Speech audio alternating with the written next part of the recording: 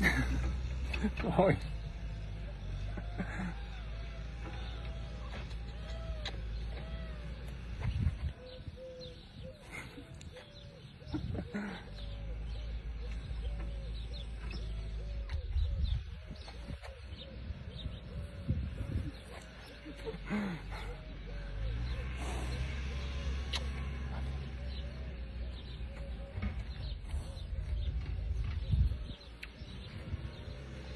Ahora ya, ¿eh? ¿Crees no?